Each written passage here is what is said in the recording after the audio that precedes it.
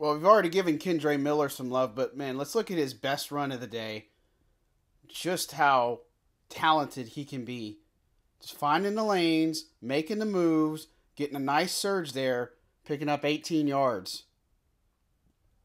Saints run attack this year was not good. Outside of Taysom Hill, they didn't have any running backs that had over 20 yards. They got close here with Miller, 18, but good blocking, Cam Erving. just a great move by Kendre Miller.